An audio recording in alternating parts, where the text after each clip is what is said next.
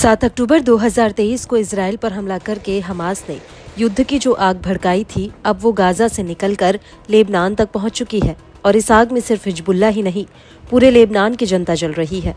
लेकिन इसके बावजूद हिजबुल्ला हथियार डालने को तैयार नहीं है। और अब हिजबुल्ला अपने तरकश से ऐसे ऐसे हथियार निकाल रहा है, जिनका इस्तेमाल उसने अभी तक नहीं किया था। यहाँ तक कि हिजबुल्ला के ड्रोन रॉकेट और मिसाइलें। अब इसराइल के और ज़्यादा भीतर तक हमला कर रही है।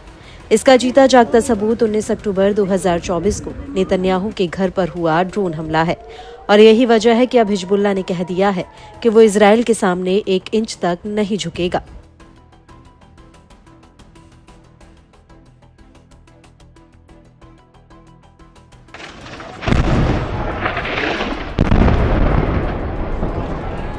हालाँकि इजरायली फौज भी हिजबुल्ला की कमर तोड़ने में लगी हुई है, लेकिन आईडीएफ के तमाम हमलों के बावजूद हिजबुल्ला आईडीएफ के ऊपर दनादन हमले करने में लगा है। और अब इसी कड़ी में हिजबुल्ला ने इसराइल को एक बड़ा झटका दे दिया है। दरअसल, हिजबुल्ला ने लेबनान के जिपचिट कस्बे में आईडीएफ के हरमस 450 ड्रोन को ढेर कर दिया। हिजबुल्ला के मुताबिक 22 अक्टूबर 2023 को शाम करीब पाँच बजकर चालीस मिनट पर इस ड्रोन को निशाना बनाया गया। हिजबुल्ला के मुताबिक इसराइल के एक और हरमिस 450 ड्रोन पर ज़मीन से हवा में वार करने वाली मिसाइल से हमला किया गया। ये ड्रोन लेबनान के अल इकलिम इलाके में उड़ रहा था। हालाँकि हिजबुल्ला के हमलों की वजह से इस ड्रोन को पीछे हटना पड़ा। आपको बता दें कि 15 अक्टूबर 2024 से हिजबुल्ला इसराइल के चार हरमिस वेरिएंट के ड्रोन गिरा चुका है।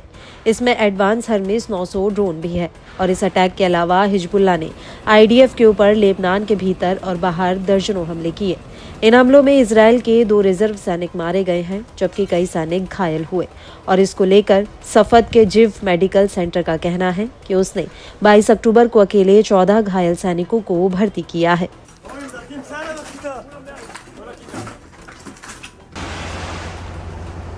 वहीं दूसरी तरफ़ हिजबुल्ला का ये भी कहना है कि उसने लेबनान बॉर्डर के पास आईडीएफ के छह मेरकावा टैंकों को उड़ा दिया। इनमें से पाँच टैंकों पर एंटी टैंक गाइडेड मिसाइल से हमला किया गया था। इनमें से एक टैंक रब अल थलातिन गाँव के बॉर्डर के पास नष्ट किया गया, जबकि एक दूसरा टैंक इसी इलाके और अल तैयबे के बीच में हिजबुल्ला के हमले की वजह से तबाह हो गया। हिजबुल्ला का कहना है कि बाकी टैंकों को ओडिसिया अल तैयबे और मिसगाव अम के बाहरी इलाकों में निशाना बनाया गया। हिजबुल्ला ने दावा किया कि आईडीएफ के लेबनान पर जमीली हमला करने के बाद उसने आईडीएफ के कुल 26 मेरकावा टैंकों को उड़ा दिया है। और इन हमलों के दर हिजबुल्ला ने उत्तरी इसराइल के तटवर्ती इलाके में भी ड्रोन्स का एक जत्था फायर किया और इस हमले की वजह से मैनिशे और नेतन्या सेटलमेंट के उत्तर पूर्वी इलाकों में हवाई हमलों के सायरन बजे। गौर करने वाली बात यह है कि पूरा ही इलाका लेबनान बॉर्डर से करीब छियासी किलोमीटर की दूरी पर है।